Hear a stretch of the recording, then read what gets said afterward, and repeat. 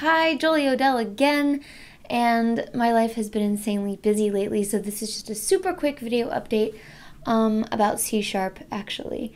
Uh, so yeah, I was out riding horses on our ranch all last week and had no real Wi-Fi access to speak of. Um, so the C Sharp training has been going a little bit slowly. I hate that. Um, I hate that being busy means that I have to put some things on a shelf or to the side. However, I wanted to share a really cool tool that I found um, that you might or might not be able to use. I don't know.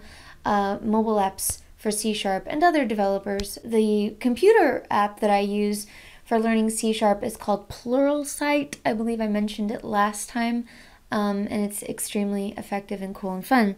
However, um, I can't really take my laptop with me everywhere I go, and it's kind of problematic to use plural Pluralsight, say, on the train when I actually have like a half hour of free time and I'm like playing Angry Birds like an idiot when I could be learning something. Pluralsight has an Android app, and this is also an excuse to gratuitously show off my gadgets. This is a Samsung, I think it's just the Samsung Tab 10.1. It's the new one that you can't get yet, nanny nanny boo boo. Um, I got it at Google I/O, so it's huge. It's like a little narrower than an iPad, um, and yeah. So this is the Pluralsight app, which is actually just their Android mobile app, but it scales really well for the tablet. And here you can see the there's the .NET category. Bing. And within the .NET category, you have C Sharp fundamentals down there. Let's see, can you see it? Yes. That is the course that I'm taking.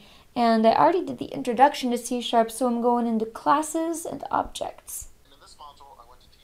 I'm on the train watching my classes and objects module on my little tablet. And it also works on the Android phone because the apps are one and the same. Um, just touch the screen to pause it. So yeah, uh, the Android app from Pluralsight is going to help me get back on that C-sharp horse and keep learning about development in my dwindling spare time. Yeah, so this weekend I'm traveling down to LA, so hopefully between getting to the airport and being at the airport, I should have time to go through classes and objects and maybe another module or two over the weekend. So yeah, by the time I get back to you next week, I'll totally be an expert and have everything on lock. Talk to you soon. Wish me luck. If you know of other apps, mobile apps especially, that are good for developers, please let me know. Bye.